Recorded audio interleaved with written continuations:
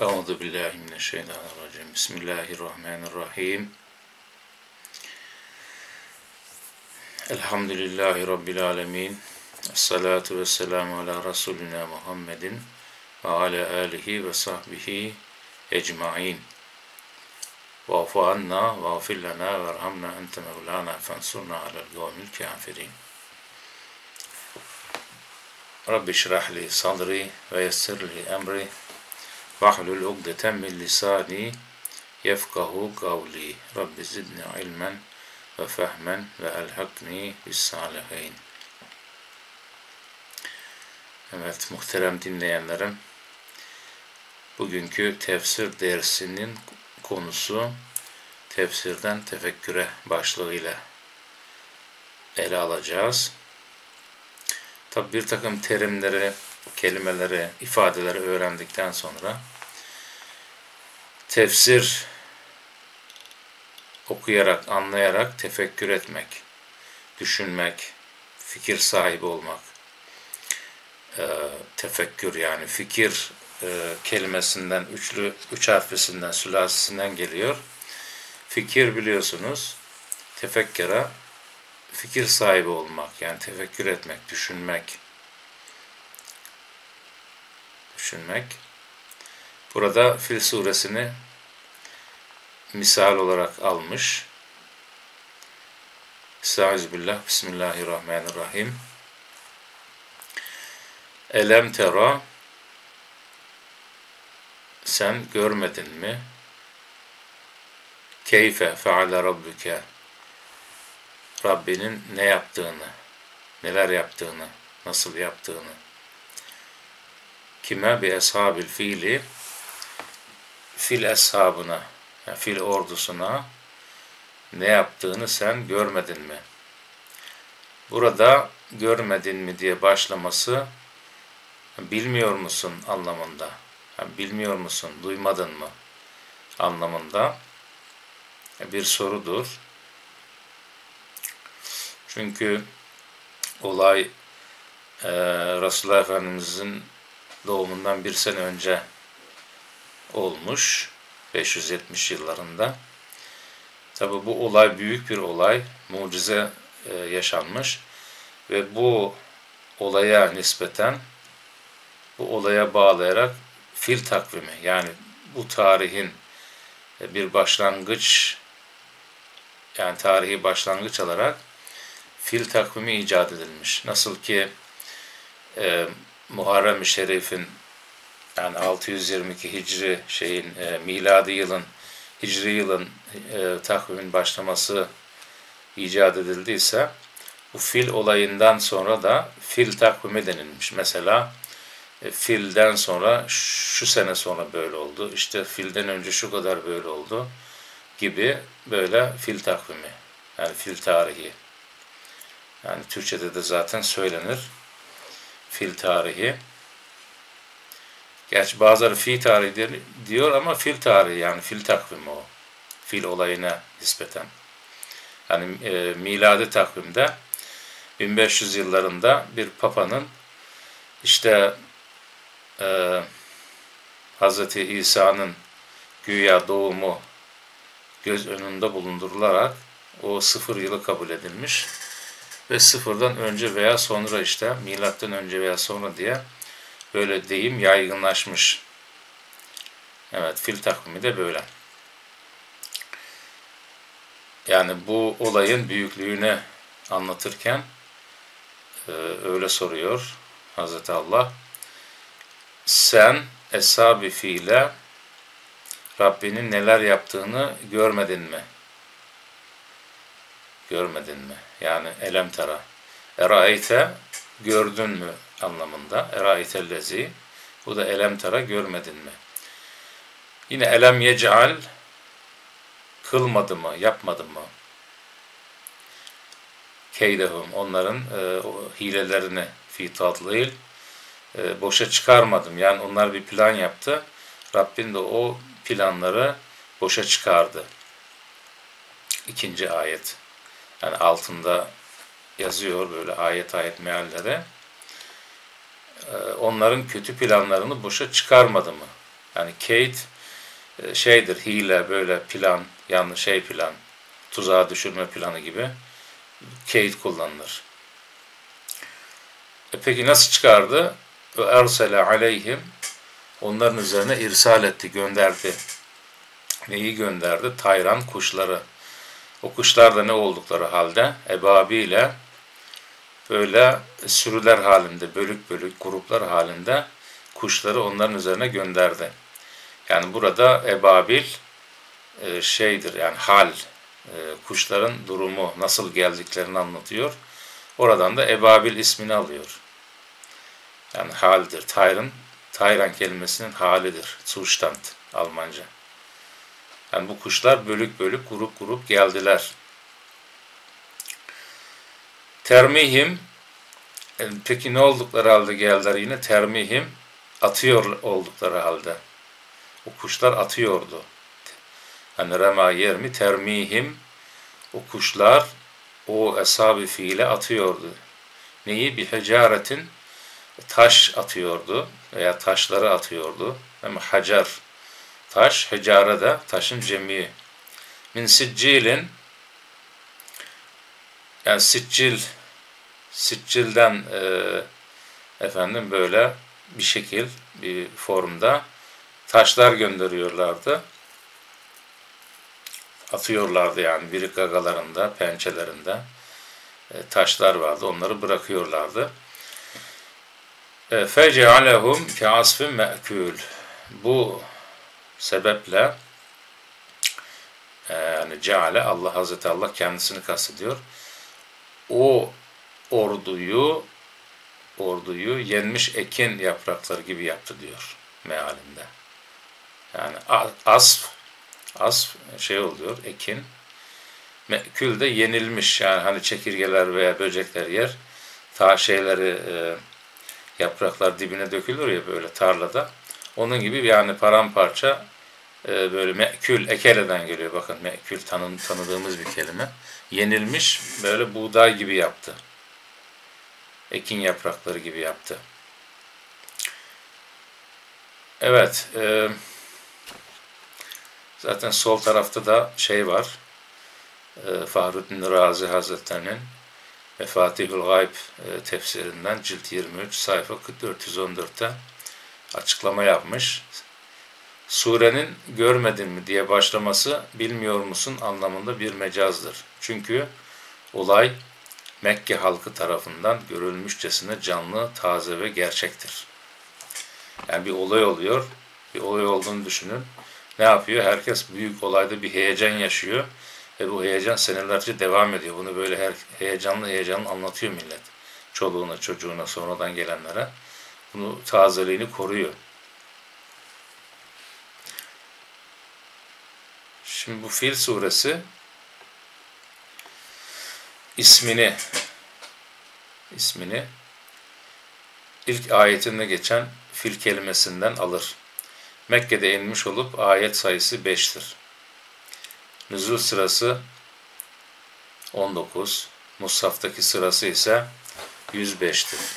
Sure, Kabe'ye saldıran ordunun olağan dışı bir şekilde hezimete uğratıldığını ve helak edildiğini anlatır.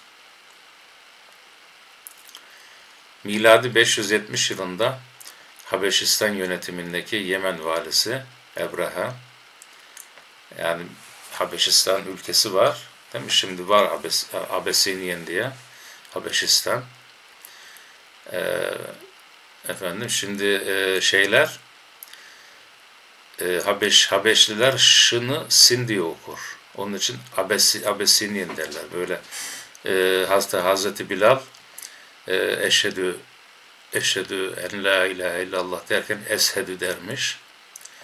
Ondan sonra münafıklar demiş ki Resulullah Efendimiz'e ya Bilal e, yanlış okuyor. Hani daha düzgün biri okusa diye böyle efendim yakınmışlar.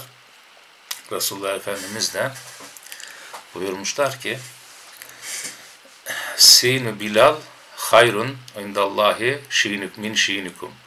Yani Bilal'ın sin esedü demesi Allah e, indinde sizin eşhedü demenizden daha hayırlıdır buyurmuş. Yani eşhedü. O eşhedü dediği için işte şeylerin, Habeşlerin böyle bir şeyi var, kusuru var yani dillerinde.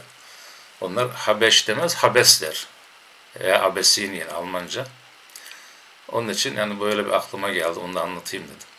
İşte Habeşistan yönetimindeki Sin valisi Ebreha,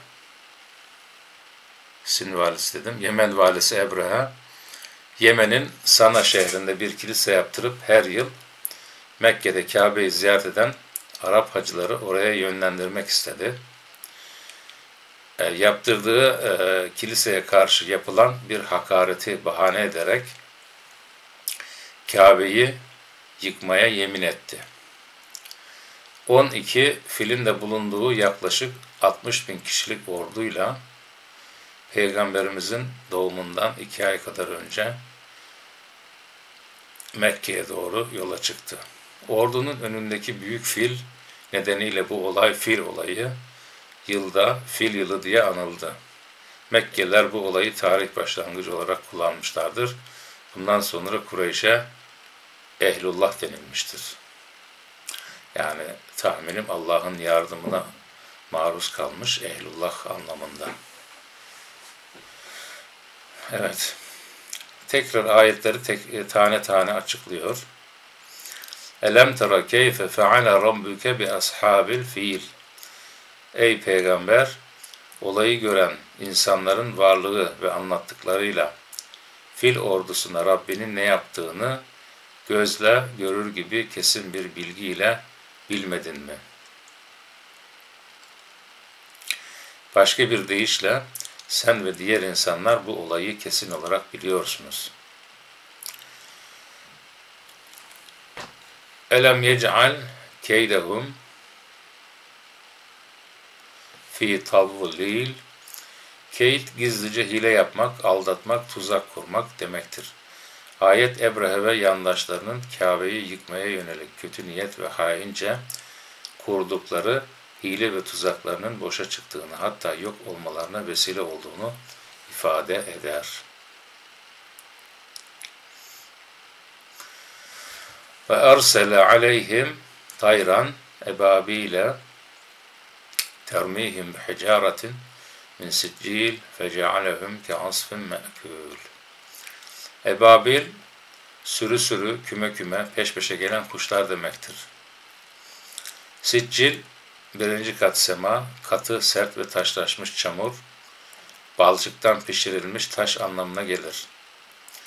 Asf ise ekin anlamına gelir. Yüce Allah'ın özel olarak yaratmış olduğu kuş sürüleri gökten taşları bırakıyordu. O taşlar Ebrehe ordusunun ordusundan kimin başına isabet ederse onu hemen öldürüyordu. Öyle ki üzerlerine yağan taşlar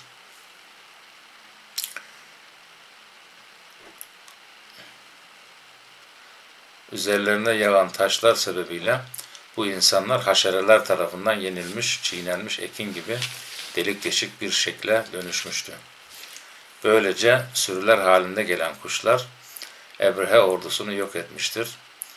Abdullah bin Abbas, Ebu Talib'in kızı Ümmü Han'ın evinde kuşların attığı bu taşlardan zafer boncuğu gibi kırmızı çizgili olan bir tanesini gördüğünü söyler. Mekkeliler tarafından bilinen ve Kur'an'ın aktarımıyla da tüm insanlık tarafından öğrenilen fil olayında bazı mesajlar vardır. Bunlardan birisi Hz. Allah'ın gücü sınırsızdır, hakimiyet Allah'ındır. Allah Celle Celaluhu bildiğimiz ve bilemediğimiz pek çok şekilde yardım eder. Hz. Allah zalimlerden intikamını alır. Bu şekilde verilen ibretlerden hem o dönemi daha iyi anlayabilir hem de günümüzde Allah'ın yardımını fark edebiliriz. Bu da 43 numaralı dipnotta Fahruddin Razi'nin Mefatih, Mefatihul Gayb eserinden cilt 32 sayfa 97 alıntı yapılmış. Neymiş? Üç tane madde var. Birincisi Allah'ın gücü sınırsızdır. Hakimiyet O'nundur. Hani kimse ona karşı gelemez. Gücüne, e, onun gücünü zaten hiç aşamaz. Efendim, yani e, zaten gücü yaratan kendisi. Yani senin kendisinden güçlü olmana zaten öyle müsaade etmez. Zaten öyle bir şey düşünülemez de. Hani yani kimse hani o havaya girmesin. Yani nice güçlüler vardı değil mi? Kafirler, Deccallar, Firavunlar, Stalinler. Ne oldu bunlar? Tek başına yalnızca öldü gitti. Yani Cenab-ı Hak zaten ahirette de tüm alemi tekrar helak edecek. Tüm e, alemleri, tüm canlıları yani gayrullah olan her şey tekrar yok olacak. Ne buyuruyor? Limenil mülkül yevm lillahil vahidil gahar diye orada hükmünü ilan edecek. Yani ikinci tabi yardım eder dedik değil mi? Bildiğimiz, bilmediğimiz bir şekilde. Yani ona tevekkül etmek, ondan yardım beklemek. Daraldığımız zaman bunda da bir hayır vardır. Efendim Allah yardım eder diye. Ümit var olmak. Bu da aynı şekilde alacağımız bir ders. İşte zalimlerden intikamını alır ve alıyor da. Dünyada alması ahirette alıyor. Hemen zalimler, sınır bilmeyen, sınır bilmeyen mazlumlara zarar olan insanlar ne yapacak? Onlar da onlardan da intikamını alacak. Onlar da onun hesabını verecek. Cenab-ı Hak zalimlerin şerrinden muhafaza eylesin. Müslüman kardeşlerimiz için her zaman için, her nerede olursa olsun, yani hangi millet olursa olsun hepsi için dua etmemiz lazım. Hani bir derste demiştik, şeyde, hadis-i şerifte, yani, e, Kale Resulullah sallallahu aleyhi ve sellem, Men ra'e minküm münkeren felügayyirhü biyedihi. Yani kim ki sizden diyor bir e, çirkin bir şeyi ne demek çirkin? Yani ne örfe adete uyuyor, ne kitaba uyuyor, ne sünnete uyuyor, hiçbir şeye uymuyor. Münker yani maruf değil. Maruf bilinen güzel şey. Yani ümmeti Muhammed'in efendim ittifakan, icmaen kabul ettiği güzel olan her şey maruftur. Maruftur. Velev ki bir adet bile olsa. Yani şimdi mi? Hanefi mezhebinde El adetu muhkemetun diyor. Yani adetler de muhkemdir. Onlar da yapılması lazım. Yani hatta Hazreti Allah e, boşadığınız kadınlara maruf yani örfe uygun e, şey mihirlerini veriniz buyuruyor. Yani örfe uygun kafadan ya böyle şey mi olur falan değil. Örfen uygun ne varsa o şekilde hareket edin. İşte örfün yani münkerin, şeyin marufun zıttı münkerdir, çirkindir. Ne Allah'ın ne Resulullah ne de ulema-i kiramın kabul ettiği bir şey değildir.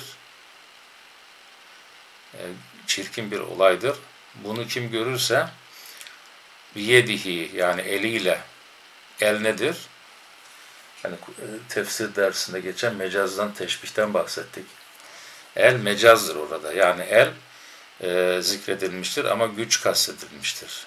Yani bir insanın eliyle hani sözünün şeyi, e, itibarının olması, gücünün olması, siyasi, siyasi gücünün olması bu yed yani el e, diye zikredilir. Hani şeyde yedullahi yine mecaz yedullahi fevgaydihim Allah'ın eli diyor onların ellerin üzerindedir. Yani burada el nedir? Güçtür. Allah'ın eli yoktur. Onun gücü vardır. Çünkü el güç için bir e, timsaldir. Efendim mecazdır. Burada da eliyle değiştirsin münkeri. Fe in lem yastada gücü yetmezse fel yugayyirhu e, bilisanihi demiştik. Yani diliyle yani gücü yetmiyor ama anlatabilir. Anlatır, e, vaaz eder, sohbet eder, yapmayın der efendim. Şöyle şöyle tehlike vardır falan işte böyle diliyle anlatır. e, ve inlem yestedi yani ona da gücü yetmezse fe bi kalbihi ona da gücü yetmezse dili yani diliyle gücü yetmezse diyor ona onu kalbiyle değiştirmeye baksın. Nasıl olacak? Kalbiyle ondan e, kalbi ondan rahatsız olacak gönlü. O kötü şeyden rahatsız olacak. Ondan sonra o şeyin izalesi için, gitmesi için dua edecek. Yani bizim bazı şeylere gücümüz yok. Hani Müslümanlar sıkıntıda. Ama e, siyasi yani gücümüz yok, iktidar gücümüz yok. Hani, hani hadis şerifte şartlar vardı eliyle, diliyle diye. Ama ne yapacağız? Dua edeceğiz. Kalbimizle o münkere e, o münkere karşı bir buğz, bir soğukluk besleyeceğiz ama dua edeceğiz değişmesi için. Evet. İşte böyle. Cenab-ı Hak ümmeti Muhammed'i zalimlerin şerrinden muhafaza eylesin. Ümmeti Muhammed için dua etmek lazım. Efendim, zamanında e, bir zat hani Fransızlar Cezayir'i işgal ettiği zaman memlekette e, işte Fransızlı şeyler Cezayirli kardeşlerimiz için dua edelim dediği için hapsedilmiştir. Yani tutuklanmıştır, sorguya götürülmüştür. Böyle zamanlardan geçtik. Cenab-ı Hak ümmeti Muhammed'in yardımcısı olsun. Dünyada sıkıntı yaşayarsa, yaşayacak olursak, yaşıyorsak ahirette inşallah iyi olur. Allah'ın rahmeti geniştir, Resulullah'ın şefaati geniştir. İnşallah güzel günler Müslümanları bekliyor. Evet şimdi şeyden asf, ki asfindeki asftan e, bahsediyor. Not edelim demiş. Asf esasında eğip bükmek, kırıp dökmek manaları ile ilgili olarak bir mastardır ve isim olan bir kelimedir. Burada yapraklı tane. Rahman suresi 12. ayetinde olduğu gibi isim olduğu bellidir. Tefsirciler bunun ekin yaprağı demek olduğunu söyleyerek birkaç vecih zikretmişlerdir. Birincisi, hasattan sonra tarlada kalan, rüzgar önünde savrulan ve hayvanlar tarafından yenen ekin yaprağı döküntüsü. Buna asf denir. El asfu. İkincisi kırıp savru, e, kırılıp savrulan saman. Üçü de, üçüncüsü de başak çıkmadan önceki taze yapraklar. Bunu da böyle Elmalılı Hamdi Yazır e, Hazretleri tefsirinde 10. ciltte sayfa 400 diyor alıntı yapılmış. Orada böyle zikretmişler.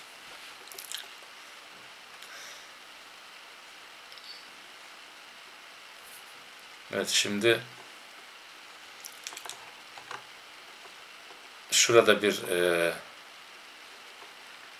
Hucurat suresinin ayetleri var. Bu ayetlerde bizim sosyal hayatımızın nasıl olması gerektiğini bizlere anlatıyor. Hucurat suresi 10 11 12. ayetler. Bismillahirrahmanirrahim. İnnemel müminune müminler ancak müminler nedir? İhvetun kardeştirler. Yani ihva, ahu. Ahu neydi? Ahu kardeş. Yani ahuhu onun kardeşi demek. İhvetun da kardeşler anlamına geliyor. Fe aslihu öyleyse diyor Cenab-ı Hak madem fe burada takip için fe aslihu siz e, düzeltin, ıslah edin. Neyi? Beyne ahaveykum iki kardeşinizin arasını öyleyse ihva, ıslah ediniz buyuruyor. Yani bu bir nedir? Emirdir. Çünkü e, fıkıhta emir kipinde olan, imperatif yani emir kipinde olan ifadeler farzdır veya vaciptir. Değil mi? Hanefi mezhebine göre farz veya vaciptir. Diğer mezheplerde vacip yoktur. Sadece farz vardır. Hanefi mezhebi biraz daha detaylı farz vardır. Farzın e, karşıtı yani yapmazsan büyük günahtır. E, vacip vardır. Vacibin karşıtı tahrimen mekruhtur. Yani vacibi terk etmek tahrimen mekruhtur. Harama yakın mekruhtur. Efendim işte bir de şey vardı, tenzihen mekruh vardı. Bu detay e, diğer üç mezhepte yok. Yani farz var, sünnet var, haram var, mekruh var. Yani mekruhun detayları yok diğer üç mezhepte. Hanefi mezhebinde sadece tahrimen mekruh var ve tenzihen mekruh var. yani emir kipindeki ifadeler e, farz veya vaciptir. Tabi arada e, farz veya vacip olmayıp tavsiye niteliğinde olan emirler de vardır. Yani da mesela e, bak şeyde Bakara suresindeki hani birbirinize borçlandığınız zaman yazın diyor ya o farz değildir, o tavsiyedir. İzâ tedâyentüm fektubuhu yanlış hatırlamıyorsam o 49. sayfa yani bir sayfa bir ayet olan o sayfada oradaki emir farz değildir, tavsiyedir o. Fektubuhu emri. Ve teullah Allah'tan korkun. Lealleküm turhamun. Umulur ki rahmet olunursunuz. Evet.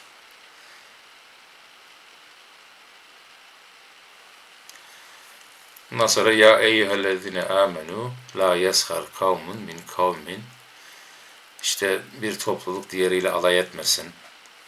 Yani sahara sahara e, hı harfiyle olunca alay anlamına geliyor. Ha harfiyle olursa sihir anlamına geliyor. Sihir. Yani onun için hı mıdır, ha mıdır? Tecvid onun için önemli. Yashar hı ile olursa alay anlamına ve maskaralık değil Maskara zaten oradan geliyor bakın. Sıhr, maskara, alay etmek, maskara yapmak. Min kavmin, işte, asa en yekunu hayran minhum, e, ola ki o alay edilenler, alay edenlerden daha hayırlıdır. Ay, hayırlıdır. Ee, özellikle tabi burada وَلَا نِسَاءٌ مِنْ نِسَاءٍ Kadınlar da böyle yapmasın. Birbirleriyle alay etmesin, birbirini maskara yapmasın. Asa en yekunne hayran minhunne. Ee, umulur ki, ola ki o maskara yani alay edilen e, kadınlar alay edenlerden daha hayırlıdır, daha iyidir, Allah katında daha makbuldür diye buyuruyor Cenab-ı Hak. Ve la telmizu enfusekum. Yani e, birbirlerinizi birbirlerinizi karalamayın yani şey yapmayın e, yadırgamayın. Böyle lems var ya lems. Ümmeze lümeze. Oradan yani lems kelimesi. Ve la tenavezu. Hani lümeze e, birbirinizi yani yüzüne yüzüne böyle birbirinizin hatalarını söyleyip yani mahcup etmeyin anlamına geliyor lümeze. Veylülü küllü hümezetin lümeze. Biri gıyabında e, onu şey yapan, zemmeden, biri de yüzüne karşı zemmeden. İkisi de haramdır. Yani bazı insanlar diyor ki bak ben arkasından konuşmuyorum, direkt yüzüne söylüyorum diyor. O nasıl haramsa o da haramdır. Bir insanı yüzüne söyleyip mah mahcup etmek, onu yüzüne karşı ayıbını vurmak o da aynı şekilde haramdır. Kul hakkıdır özür dilemesi gerekir. Yani ben e, gıybet yapmıyorum, yüzüne söylüyorum, bu kurtarmaz. وَلَا تَنَابَزُوا بِالْاَلْقَابِ ve birbirinize diyor, e, lakaplar takmayın. Yani lakap nedir? Bir insan söylediğin zaman hoşuna gitmeye gitmiyorsa, o lakap ona söylenmez. O da haramdır. Hoşuna gitmediği için. Bi'sel ismül fusuku ba'del iman yani e, iman etmiş birisine mümin olan birisine diyor kötü bir isim takmak. Yani lakap takmak kötü o kötüdür diyor hani kötü bir şeydir. Kötü bir şeydir. Ne vardı? O zamanlar künye vardı değil mi? Böyle künye denir ona. Künye. Mesela Ebul Kasım, Resulullah Efendimizin ilk oğlunun e, ilk oğluna nispeten Ebul Kasım denirdi. Kasım'ın babası. E mesela Ebu Bekir'in Ebu Bekir de o da Bekir veya Bekir e, öyle oğlu yoktu ama ümmeti Muhammed'in e, şeyi olduğu için bir numarası peygamberimizden sonra yani iyiliğin babası gibi bir isim takıldı. Mesela Ebu Cehil'in Ebu Cehil e, asıl ismi Amr bin Amr bin Hişam'dır. Amr yani bir Umer vardı bir de Amr vardı. Resulullah Ya Rabbi iki Ömer'den birisine hidayet ver diye dua etti. Hazreti Ömer'e nasip oldu. E, onun öbürü de Ebu Cehil olarak kaldı. Yani Ebu Cehil onun ismi değildir. Onu Ebu Cehil diye çağırmıyorlardı. Ümmeti Muhammed ona Ebu Cehil ismini taktı. Cehalet babası, cehaletin babası diye efendim öyle isim taktı. İşte Ebu Cehil ismini bir Müslümana takarsanız diyor çok kötü bir şeydir diyor. Yani bi'sel ismil fusuku ba'del iman. Lakap. Bunlar hepsi nedir? İnsanların, müminlerin birbirlerine olan sosyal hayattaki davranışlarını anlatan ayet-i kerime. Ve men lem yetub feulâkehumuz zalimun. E, kim ki bu yaptıklarından geri dönmezse, yani tabe dönmek anlamında aslında, rucu etmek. Yani bunlardan vazgeçmezse anlamında, kim ki bunlardan vazgeçmezse, tövbe etmezse, istiğfar etmezse, helallaşmazsa, فَاُولَٰئِكَهُمُ zalimun. İşte onlar zalimlerdir. Ülaike neydi? İsmi işaret. Onlar zalimlerdir. İşte onlar zalimlerdir. Zulmetmek, demin de bahsettiğimiz gibi alma mazlumun ahını, işte çıkar aheste aheste demiş atalarımız. Zulmetmek böyle bir şey yani.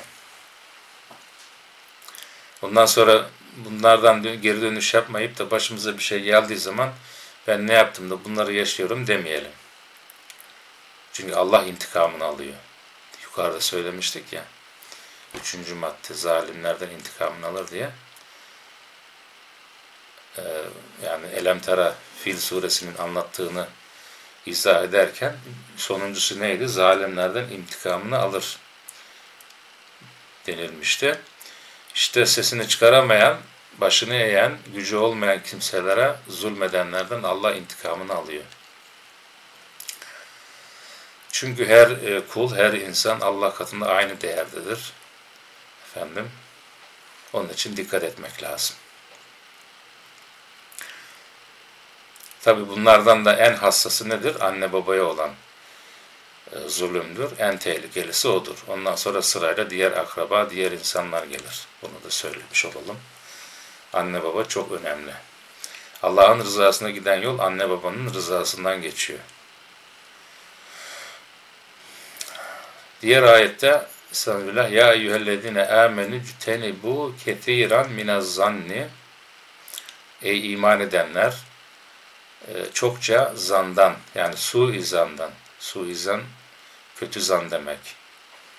Kötü zan demek değil mi? Vorurteil. Almancası Vorurteil. Kötü zandan kaçının, içtinab ediniz. Niye? Yani e, çünkü zannın iyisi de var. Bak, husnü zan var bir de suizan var. Suizan var. Yani kesiren burada kesiren e,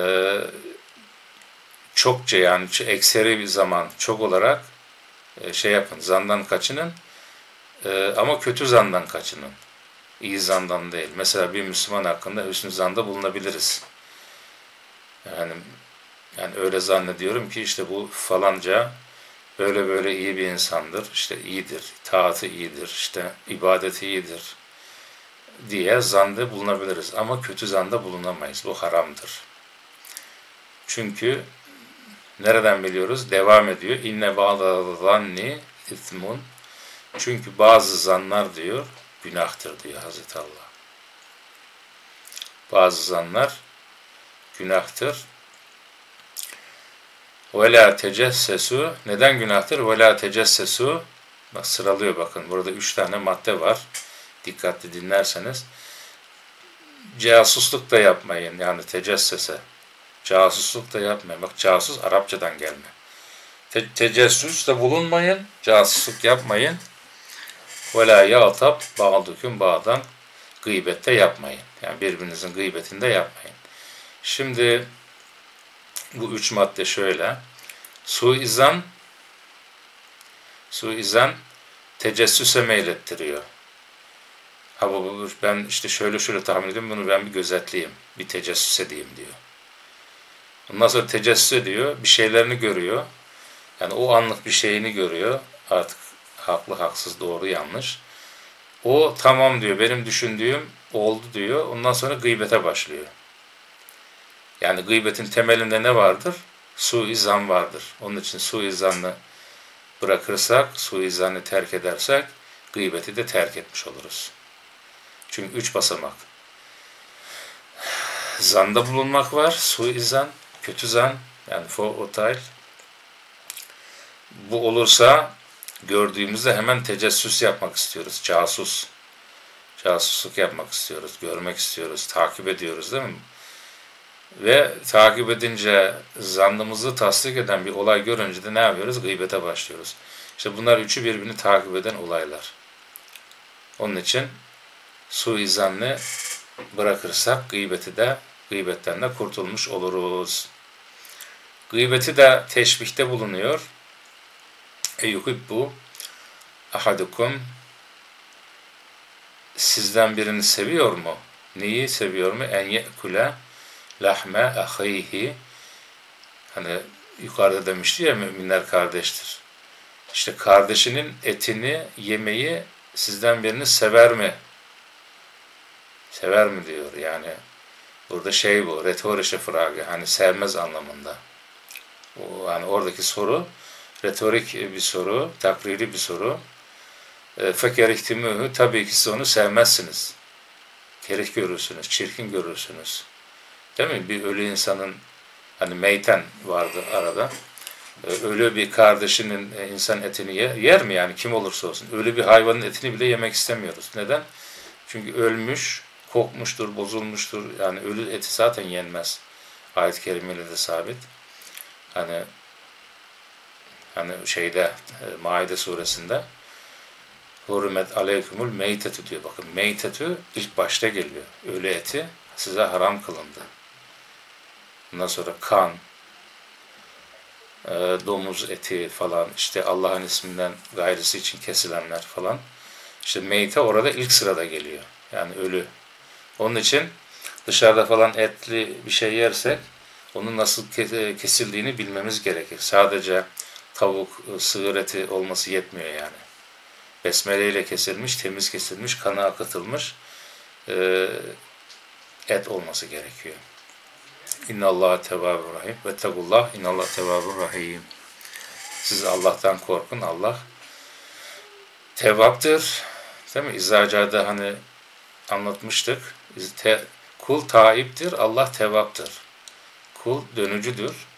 Yani Allah'a dönücü, istiğfar edicidir. Tevap da tevbe edenin tevbesini kabul edendir. Rahimdir, merhamet edendir. Evet, şimdi bir açıklama yapılmış. Bu ayetler yeryüzündeki tüm Müslümanların evrensel bir ailenin bireyleri gibi olduklarını ve birbirlerine öz kardeşmiş gibi yani gibi e, işte yani gibi yazmış ama e, öz kardeş sayılırız. Çünkü e, ruhani olarak ruhumuz kardeş. Bedenen kardeş olmasak da öz kardeşmiş gibi dürüst ve samimi davranmaları, davranmaları gerektiğini bildirir. Aralarındaki bu kardeşlik anlayışının hiçbir dinde ve düşüncede de örneği yoktur. Müslümanlar her konuda olduğu gibi din kardeşlerinin arasını bulmada adil ve duyarlı olurlar. Bu konuda yanlış yapmaktan pek sakınırlar.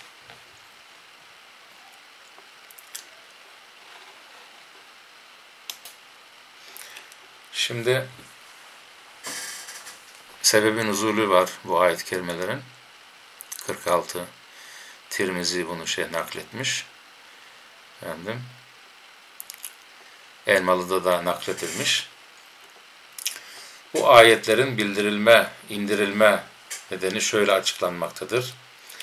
Bir rivayete göre Beni Temim kabilesinden gelen temsilciler, İslam'a ilk girenlerden Ammar, Habbab, Bilal, Suheyb, Salim radıyallahu anhum gibi fakirleri alaya alıp onların haline gülmüşlerdi. O nedenle o, bu ayetler inmiştir. Ayrıca Hz. Safiye radıyallahu anh hakkında bazı kadınlar Yahudi kızı Yahudi diye dedikoducu yapmışlardı. Safiye üzülerek olup bitenleri Hz. Peygamber'e anlattı. Hz. Peygamber ona üzülme ve sen onlara atam Harun'dur, amcam Musa'dır, kocam da Muhammed'dir dersin buyurarak onu teselli etti. Ayette başkasını gücüne gidecek bir laka bile çağırma yasaklanıyor.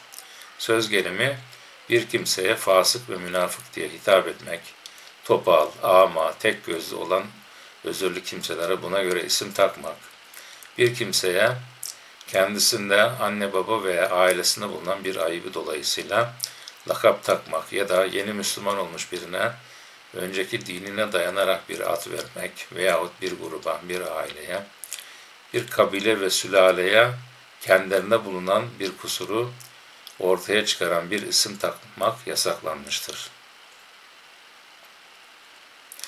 Ancak hakaret ve kötülük kastedilmeksizin bir kimseyi tanıtmak için gerektiğinde, yani alay etme niyeti olmaksızın kambur, topal veya lakaplarla anmak yasak değildir. Zaten e, gıybetin de şey var, e, mübah olduğu yerler var değil mi? Mesela mahkemede falan böyle e, derdini anlatırken ne yaptığını anlatabilir. Bazı böyle konular var. Bu ayette kişi fazlaca zan bulunmaktan, zanda bulunmaktan ve her tahmin ettiğine tabi olmaktan men edilmiştir. Yani buradaki ta, tahmin suizan oluyor yani forward suizan, kötü düşünce. Bunun sebebi olarak da zannı, zannın bir kısmının günah olması gösterilmiştir. Suizan gerçekten günah olan zandır. Kişinin başka birine sebepsiz yere suizan beslemesi veya başkalarıyla ilgili kanaat ve görüşlerinde daima suizanı ön plana alması yasaktır. Aynı şekilde dış görünüşleri ve hareketleri temiz, iyi bir insan olduğunu gösteren kişilere suizan beslemek de yanlıştır. Ayette güvenlik araştırması gibi meşru bir sebep olmadan insanların sırlarını, gizli yönlerini araştırmayın, birbirinizin kusurlarını soruşturmayın, başkalarının hal ve hareketlerini araştırmayın denilmektedir. Bu hareketler ister suizandan dolayı yapılsın, ister kötü niyetle birine zarar vermek için yapılsın veya sadece kendi merakını gidermek için yapılsın, her durumda da dinin yasakladığı tecessüstür. İki kişinin konuşmasına kulak kabartmak, bakın iki kişinin konuşmasına kulak kabartmak, efendim, e, yani şey de oluyor, mesela iki kişi konuşuyor, üçüncü geliyor, o işte böyle bir lafa giriyor, o iki kişinin konusu dağılıyor. Yani bunlara da dikkat etmek lazım. Yani belki önemli bir şeydir. Yani e, fikir danışıyordur, akıl alıyordur. O kişi onların da e, sohbetini bölmemek lazım. Konuşmalarının bitmesini beklemek veya onların e, yanımıza gel demelerini beklemesi gerekir. Bu da adaptandır yani dinimizin, İslam dininin adaplarındandır. İşte iki kişinin konuşmasına kulak kabartmak, komşuların evlerin içini merak etmek, çeşitli yollarla araştırmak, çeşitli yollarla başkalarının aile hayatını veya onların şahsi sır ve davranışlarını bir gerek olmadan araştırmak dinen yasaktır ve birçok kötülüğe kaynaklık eder. Müslim, Ebu Davud, Tirmizi, Nesai ve diğer muhaddislerin naklettiği, Hz. Ebu Hureyre'nin rivayet ettiği hadis-i şerifte Peygamberimiz gıybeti şöyle tarif etmiştir. Birinin herhangi bir kimsenin arkasından duyduğu zaman hoşuna gitmeyecek sözler söylemesidir. Yani bir konu var, anlatacak bir şey var, birisinin birisi hakkında. Onun yüzüne söylüyorsun, onu hoşlanmıyor, hoşuna gitmiyor. aynı bu şekilde bunu onun arkasından gıyabında konuştuğun zaman gıybet oluyor. Yani hoşuna gidecek bir şeyi söylersen gıybet olmuyor. Ama üzüleceği, güceneceği bir şeyi arkasından başkalarına anlatırsan asıl gıybet bu oluyor. Bu tarif bizzat Peygamberimiz tarafından yapılmıştır. Adamın biri Hazreti Peygamber'e gıybet nedir diye sordu. O da işittiğin zaman hoşuna gitmeyecek şekilde kişi hakkında konuşmandır buyurdu. Adam ya sözün doğru ise deyince Peygamberimiz eğer sözün yanlışsa o zaten iftiradır buyurdu. Şimdi çeşitli tefsir usulleri var. İşte Cerrahoğlu var, İsmail Çalışkan var. Ben burada en sondaki ve en e, şey olarak asır olarak yani tarih olarak en eski olan e, İmam-ı Suyuti'nin El-İtkan eserinin bulunduğu şu bilgileri aktarmak istiyorum. Yani bu zat Celaleyn tefsirinin de yazarıdır biliyorsunuz. 1400'lü yıllarda yaşamış. Miladi 1400. Evet, Suyuti'nin El-İtkan eserinde konular işlenirken önce aynı konuda eseri bulunan müellif veya eserleri zikredilerek değerlendirilmiş. İlgili meseleler ayet ve hadisler ışığında bunlar da yoksa alimlerin sözlerinden deliller getirilerek çözümlenmiş, faydalanan, faydalanılan kitaplardan özet metinler aktarılmıştır. Farklı görüşler nakledildikten sonra müellif kendi görüşünü ortaya koymuş, haberlerin kaynak ve isnadını belirtmiştir.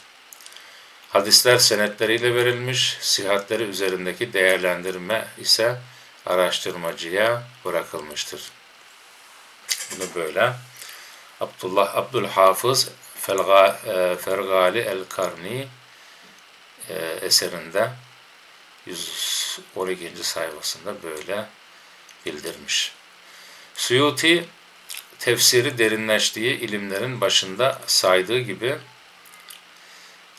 benzerlerinin yazılmadığını iddia ettiği eserlerinden ilk altısı da Kur'an ilimlerine dairdir. Bu alanda en çok eser veren alimlerden olan Suyuti, eserlerinin tefsirde okuduğu okuyucusunu başka bir esere ihtiyaç duymayacak şekilde bir bütünlük oluşturduğu kanaatindedir.